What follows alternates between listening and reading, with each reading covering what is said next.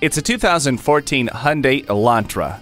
Get more for your money. This vehicle's total interior volume is bigger than other compact cars, so the EPA classifies it as a midsize vehicle. 110.4 cubic feet of interior room provides you, your friends, and your stuff with more than enough space. You also get more standard horsepower, a capable 6 speed transmission, vehicle stability management system, and Hill Start Assist.